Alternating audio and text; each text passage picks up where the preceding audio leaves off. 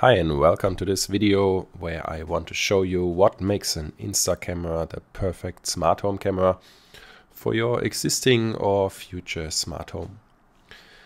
In this case I have opened already the web interface of an INSTAR IP camera from the 2K Plus series and inside the web UI you can go on top left to settings and here we have a whole section for smart home. What I want to show you is just different kind of um, protocols that we support with the cameras and then from there on you can check it and integrate the camera into your existing smart home. So we have the smart home section here. First of all, we have an alarm server. That means the camera can send an HTTP or HTTPS request to any server or web server in this case, it can be your smart home. Uh, the camera can send that it has triggered an alarm. It can also send the like what has triggered the alarm, like the information, if it was just a software motion detection, if it was the PIR, if it was an object like a person that was detected. So with all this information, you can then use it inside your smart home to trigger different different things. If you have multiple smart home servers, you have up to three servers that you can send the information to. You can also customize what kind of information should be sent and how frequently it should be sent once a motion is detected. At any time you have inside the web UI in each menu you have this question mark. This will lead you to an online help where all the um, the settings are this uh, explained. But other than that, we have also wiki pages, which I show you later, where you find tons of information regarding each feature of the camera. So this is the alarm server. You can integrate that into almost every smart home that can receive HTTPS requests. Um, next, we have Amazon Alexa, uh, this you can integrate the camera into your existing Alexa and show the video stream on Alexa Show or you can also use it to access your cloud account which is totally optional on for our cameras but if you are using a cloud you can then use Alexa to display alarm videos from um, from your cloud account. The same for Google Home. If you have a Google Home or Google Assistant with a display, then you can use that to integrate it. Next we have Apple HomeKit. Um, once you activate it, you can add the camera to your existing uh, home app from Apple and our cameras in the 2K Plus series support HomeKit as well as uh, HomeKit Secure Video. That means you can the camera will upload the videos to your iCloud and Apple will automatically um, yeah, cut the videos, let's say, according to whether there is an object inside, like what you have set in the home app, what kind of objects you want to detect. And then you have a timeline in which you can see all the recordings. For Apple HomeKit integration, we will make another video on that. So just feel free to subscribe to our channel. Um, then you will get a notification once the video is available, or maybe once you are watching this video, the video, the HomeKit video might already be available. So this is for HomeKit integration, so you can easily integrate the camera into your Apple uh, um, into your Apple infrastructure. We have IFTTT, um, which you can use to integrate a camera into your smart home. Most smart home devices also support IFTTT. Um, this allows you to send um, yeah, commands over the internet to your smart home. It needs an, a free cloud account from us because this as an interface like or yeah it, it needs the cloud to communicate through your to your device so if you simply want to locally communicate with the camera, we recommend using the next, which is MQTT. Um, the camera supports MQTT version 5. It has a broker integrated and also can be used as a client, or it is the client, but also has an integrated broker. The commands can also be sent over WebSocket. And MQTT allows you to integrate a camera and uh, let you control it. Uh, usually you can integrate a video stream by using RTSP into your let's say interface of the smart home and um, all the commands to activate alarm, deactivate alarm or activate anything else. Uh, for this you can use MQTT and the advantage is that you will always have the up-to-date state uh, of what was set. So let's say in the web UI or in the app I deactivate the alarm, then in my smart home this will reflect right away and I will show that it's, uh, I will be seeing that it's deactivated there. So you can use MQTT. Another option that you have to integrate the camera, which is now not here in the smart home section, but it's the CGI commands. That means everything you are setting here in the web UI has a command um, that we are sending to the camera. And this you can also use to, to do any kind of changes or settings. Besides, the, besides um, the MQTT and CGI. This I will show you in inside our wiki pages in just a moment.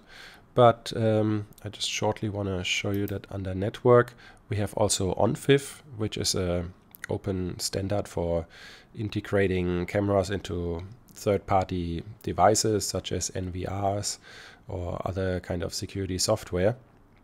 So this allows you to integrate the camera into almost everywhere, any kind of software or device that supports ONVIF. The camera supports ONVIF T profile at the moment and also S profile, but right now we're only supporting the digest authentication since it's more secure. Then there is another one, it's called WS security uh, authentication. This one currently we're not supporting, but it will come with one of the next firmware updates, probably within March 2024. So once that is integrated, then the S profile will also be fully supported. Um, but for the T profile, it's anyway the uh, um, the digest authentication is anyway the must-have authentication. So for that one, it will work right away. So you can use ONVIF to integrate a camera into, for example, Synology or QNAP NAS or in, inside your smart home application if that supports ONVIF. Um, for the video stream, you can get the video stream by RTSP. You can also, the camera offers an MJPEG video stream and also you can grab the image, um, just the up-to-date image from the camera in order to integrate that in almost any application. And with this, we are jumping to our wiki. You find our wiki at uh, wiki.instar.com. If you type that into your web browser, you will automatically be forwarded to the English wiki pages. And here you find tons of information about the camera, about settings, about different software that you can uh, integrate the camera to. And um, I go up here to on the right side to the developer section and here you find the CGI commands that I mentioned earlier. Once we click it, we can select our camera series. In this case, we are having the 2K Plus series. And then here you find the menus according to the web interface. I'm switching shortly. So here we have the different menus, network, multimedia, feature, alarm. And this one here reflects those same menus and then you can click into it and um, select the menu that you want to know the CGI command from.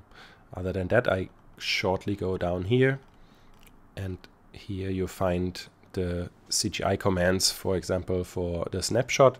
So we have three resolutions in the camera. We have the 2K plus resolution, which would be 11. We have the full HD resolution, which would be 12. And we have the HD resolution, which is number 13. And according to whatever image you want to get, you can um, then use this um, HTTPS request to get the image from the camera. Same we have for the video stream.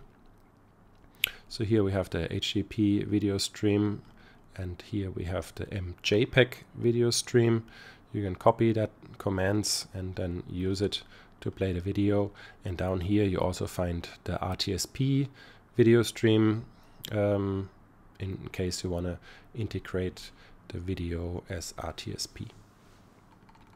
So this is this. I shortly click into one of these um, settings. So just so you, have, so you have seen it. So we have the alarm menu and now here it's, I shortly switch. It's the same as here. We have five topics. We have actions, areas, object detection. And this one here reflects the same thing. And we can go, for example, to actions. And then here we have all the different um, CGI commands once we are clicking on it we go to example and then here we have the CGI command and we see what kind of values it returns and these values then we can use with our smart home and um, and then create an action. Same goes for uh, MQTT commands. You find them here. You, there's also a search and also there's some um, different kind of um, parameters. I shortly go here. You can use here the INSTAR search to search for any kind of command, or you can use this to select between what kind of command you're looking for. And then I just use here one example. If we want to read out the PIR sensor, then we have here the CGI command, we have here the MQTT topic in case we want to use this, and here we see the values that it returns to either 0 deactivate the PIR sensor or 1 activate the PIR sensor. So this is how you can customize your camera and um, you can use the search function in our wiki at any time. If you want to, for example, integrate the camera to a smart home, then we can just type in smart home. We have here IO Broker, openHAB, uh, Homematic, Loxone, Smart Home, and many more. Um, there's also a section here on top. If you go to products, then to software, and then you find here one section for smart home. Once you click it, and then here you find different kind of smart home systems. In case you're missing any kind of smart home system, please let us know. We are interested to see what kind of smart home system you are using.